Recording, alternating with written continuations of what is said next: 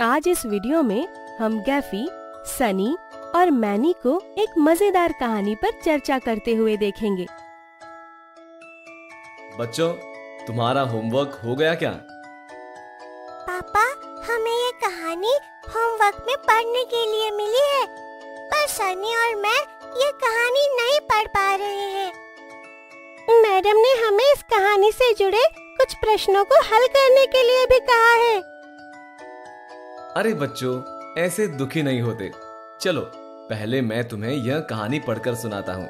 फिर तुम दोनों ये कहानी खुद से पढ़ना ठीक है? हाँ ठीक है पापा। एक तालाब में एक कछुआ रहता था। उसका नाम ननकू था। ननकू की आदत थी खूब बातें करना। उसके दोस्त थे दो बगुले।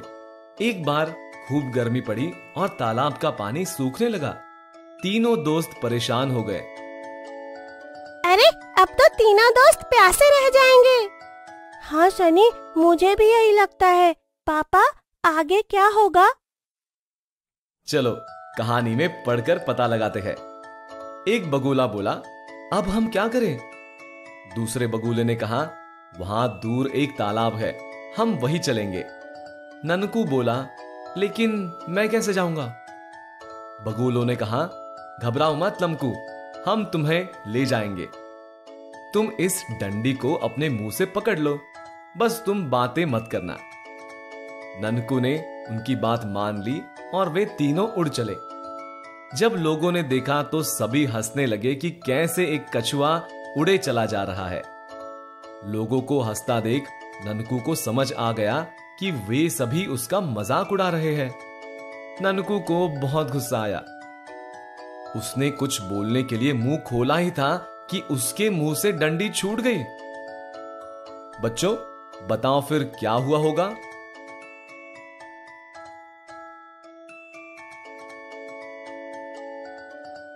मुझे तो लगता है ये नीचे गिर गया होगा।